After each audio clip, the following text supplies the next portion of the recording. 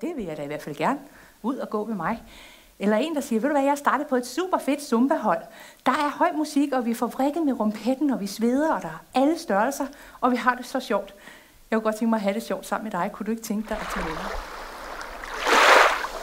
Igennem mange år var jeg overvægtig. 134 kilo stod vægten på, men jeg følte mig stadig lille nu jeg går i seng om aftenen, så glædes jeg over endnu en dag med sundhed og aktivitet med mine børn. Nu kan jeg være i min egen krop, og jeg kan være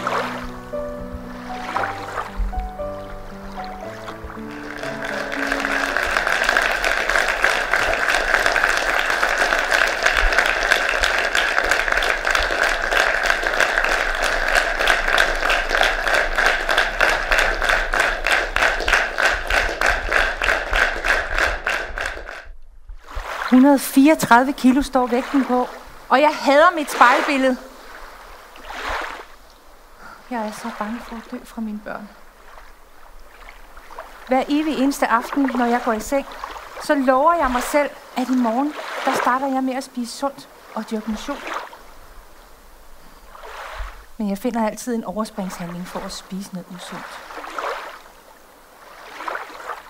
Nogle gange bliver jeg bare så vred indeni, det kan jeg ikke lide. Så spiser jeg bare noget usundt for ikke at mærke det. Jeg vil så gerne ud og cykle nogle ture, og jeg vil også gerne ud og gå og svømme. Det bliver bare aldrig til noget. Åh, hvorfor skal det være så svært? Jeg hedder Karoline. Jeg er ikke skuespiller. Jeg er ikke foredragsholder. Jeg er ikke komiker. Jeg er Karoline, og jeg er på vej mod de 77 kilo.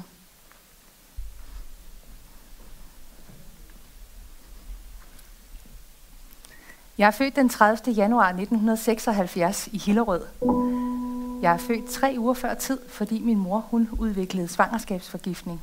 Og så skulle jeg hurtigt ud. Men det ville jeg ikke. Så jeg blev taget med sugekop. Og så var jeg adskilt fra min mor i et døgn, fordi hendes blodtryk var så højt, at hun lå og svævede mellem liv og død. Da lægen han kom og skulle lave den her obligatoriske børneundersøgelse på mig, så finder han ud af, at jeg har hofteskred, så jeg skulle have skinnen på i tre måneder. Og dengang, der var en skinne, ligesom sådan to store ruller gaffatape, der blev sat helt herop. Og så lå jeg ellers sådan her med benene i tre måneder, og kunne ikke bevæge mig. Men jeg fik jo stadigvæk min mors fede modermælk. Min mor, skulle en tur til Madea, og det kan man jo kun komme i fly. Jeg kan ikke så godt lide at flyve. Så jeg skal altid sidde ude ved vinduet. Fordi så har jeg lidt styr på det hele, synes jeg. Så kan jeg lige holde lidt øje. Så ind og sidde der og finde sin plads og få mast rumpetten ned i sædet. Og så skal man have det der sikkerhedsbælte på. Og så siger stewardessen, du skal bare stramme i det. Ja, det er godt med dig. Der er overhovedet ikke noget at stramme af overhovedet. Det er bare lige klik, og så er der en halv centimeter, så er jeg spændt fast. Og så siger hun, kunne hjælpe mig også.